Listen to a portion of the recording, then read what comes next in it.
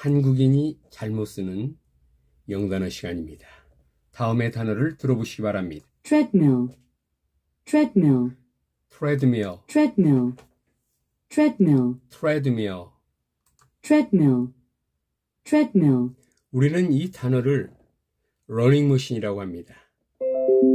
물론 콩그리시입니다. 러닝머신. 트레드밀이라고 합니다. 원어민들은 트레드밀이라고 합니다.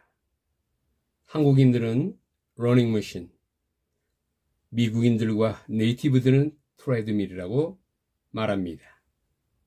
treadmill, treadmill, 벨트 위를 걷거나 달리는 운동기구죠.